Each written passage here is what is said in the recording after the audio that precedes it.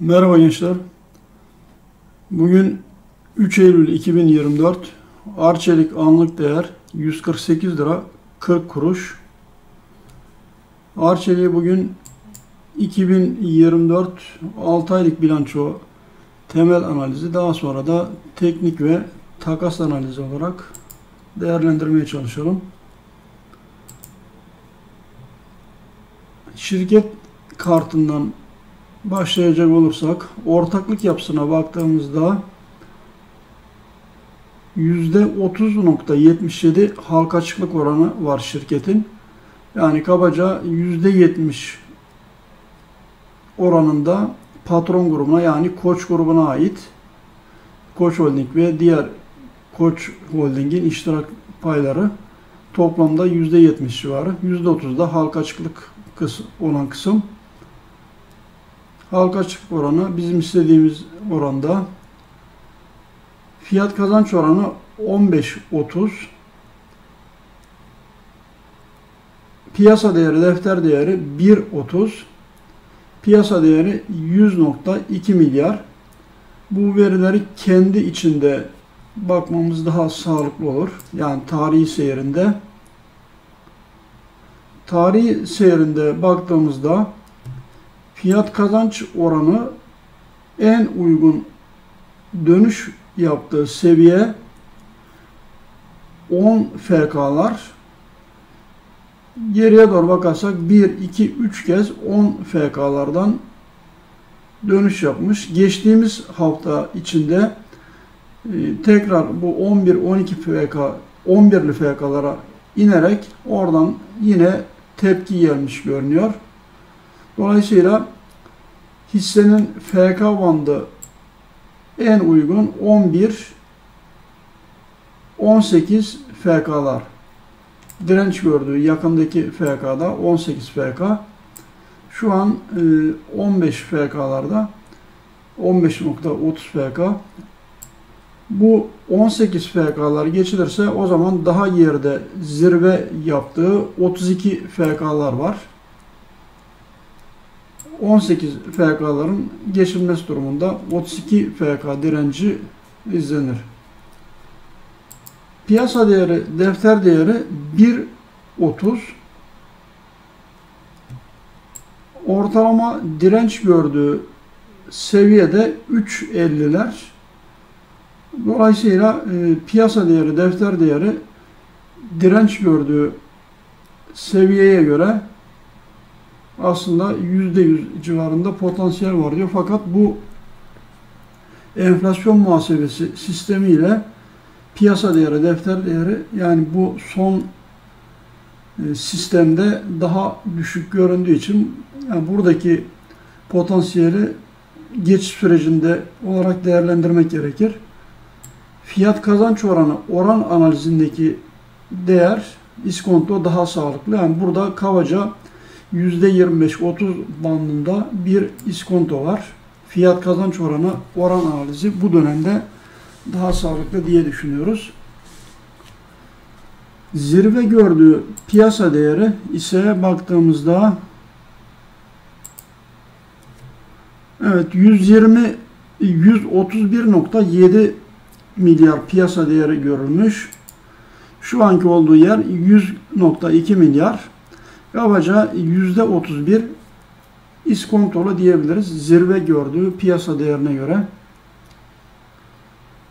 Dönem karları son iki çeyrekte gerilemiş olsa da yine geriye doğru baktığımızdaki ana trendi koruyor. Ciro bir önceki çeyreğe göre toparlanma var. Olumlu. Ama şu zirveyi henüz geçmedi. Aşağıdaki göstergemiz öz sermaye karlılığı göstergemiz.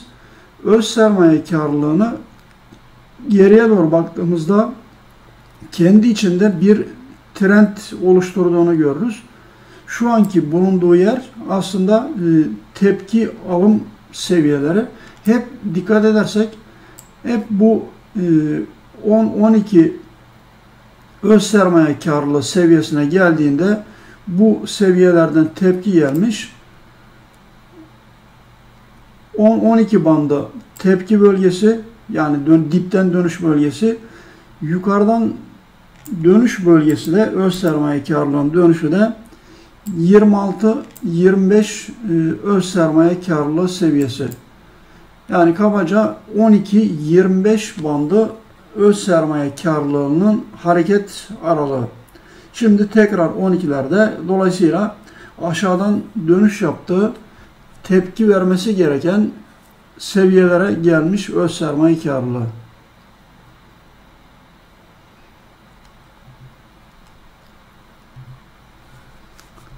Şimdi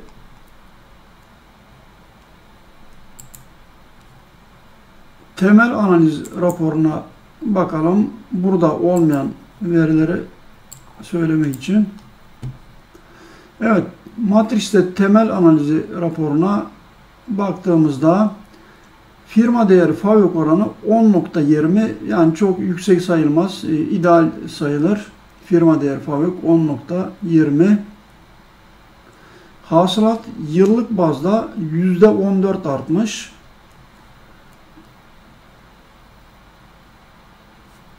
Çeyreklik bazda da artış var. Bir önceki çeyreğe göre hasılat yine artmış. Bu da olumlu. Hem yıllık bazda hem çeyreklik bazda hasılat artışı olumlu. Dönem karı geçen sene aynı çeyrekte 3 milyar kar varken bu sene 4 milyon lira 4 milyon lira e, eksi yani zarar e, dönem karı dönem zarar açıklamış. Fabrik karı yine %22 düşmüş. 13.9 milyardan 10.8 milyara düşmüş.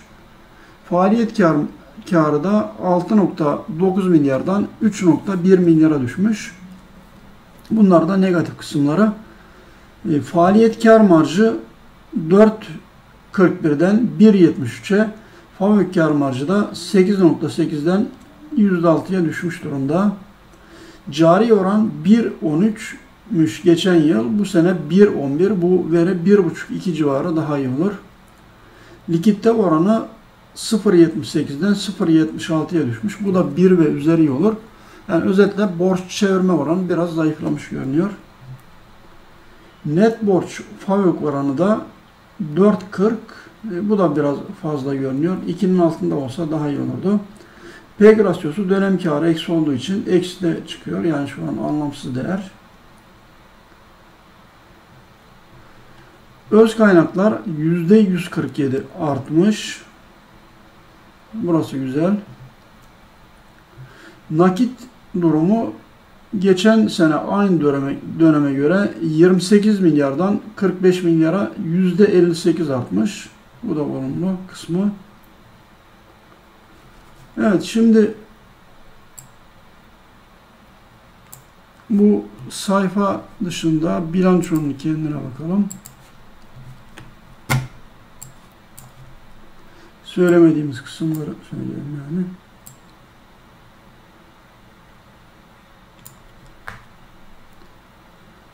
Evet, hasılat hem yıllık hem çeyreklik bazda artmış demiştik. Fakat e, pazarlama giderlerindeki artışın fazlalığı ve esas faaliyetlerden diğer gelirlerin geçen yıla göre düşük çıkmasıyla burada esas faaliyet karı yani ciroda oluşan kar esas faaliyet karında geçen yıla göre düşük 3.1 milyar gelmiş. Bu bahsettiğimiz iki kalemde geçen yıla göre düşüş olmasaydı e, faaliyet karı geçen yıla göre artı olması gerekirdi. Bu iki kalem faaliyet karı gelirini bozmuş. Geçen yıla göre yani. Evet aşağı doğru baktığımızda finansman geliri de geçen yıla göre düşmüş 15.9 milyardan 10.2 milyara. Giderler de 23'ten 19'a düşmüş.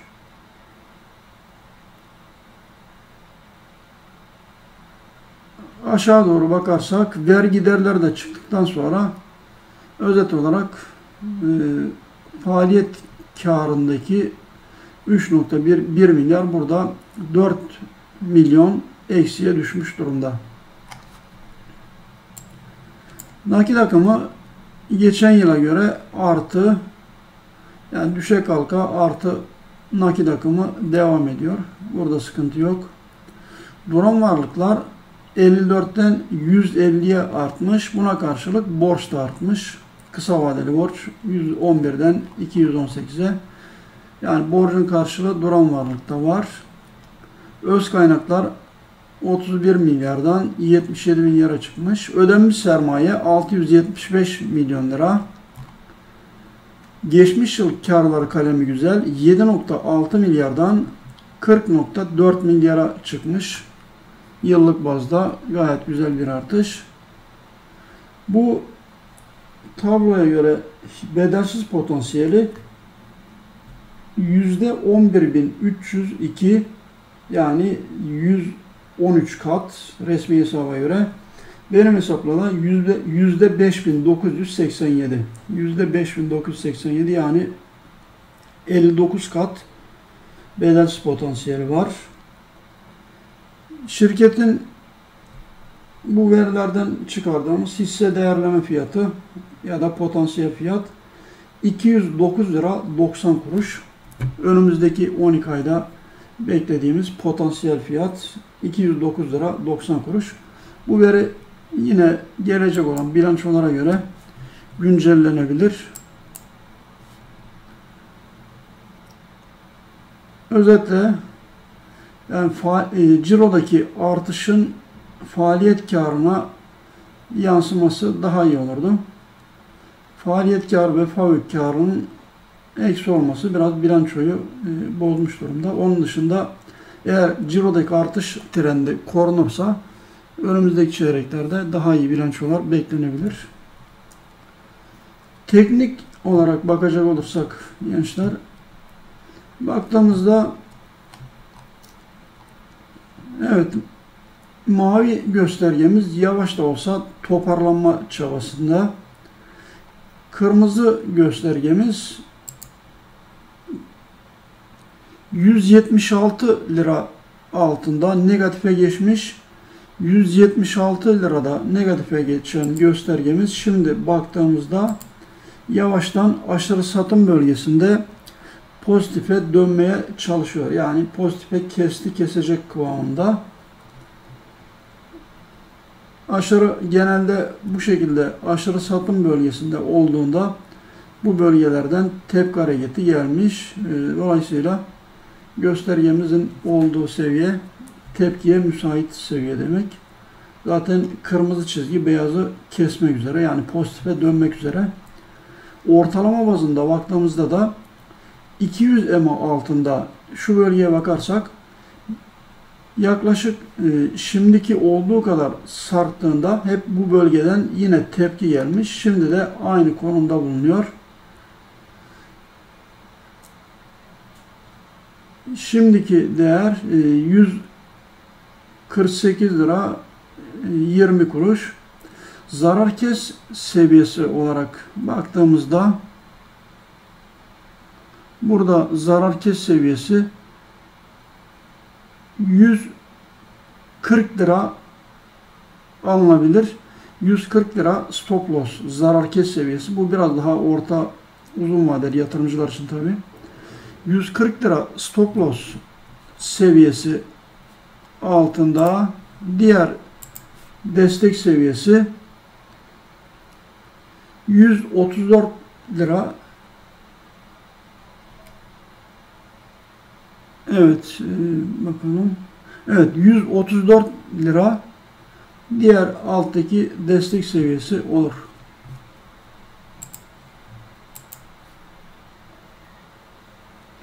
Şimdi tepki hareketi devam ederse eğer şu bölgeden başlayan kısa vadede 151 direnci önemli. 151 direncinin geçilmesi durumunda 162 lira direnci var. 162 lira geçilirse o zaman geriye doğru baktığımızda belirgin olarak çalışan 1, 2, 3, 4, 5 kez çalışan bir makas direnci seviyemiz var. Bu makas direnci seviyemize baktığımızda ortalama bir makas değerinden zamansal kaymamızı yapalım.